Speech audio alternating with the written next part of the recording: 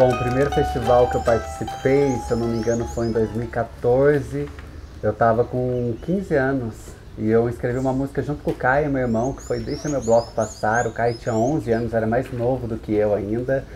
E acabou que a música venceu o primeiro lugar e serviu como um super estímulo para que eu pudesse seguir na carreira de músico e também entendesse, né, como a, a música luizense, ela acaba orientando o que a gente vai fazer na música dentro e fora de São Luís também. Então foi um primeiro festival que de certa forma me abriu para o mundo.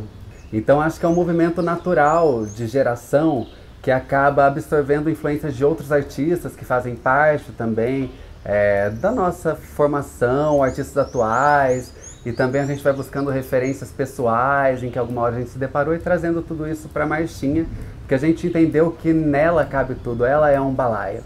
Vindo do Camilo Frade, eu acho que não é muito diferente do que pode vir com outros artistas, porque de toda forma a gente está conectado no mesmo presente, no mesmo momento.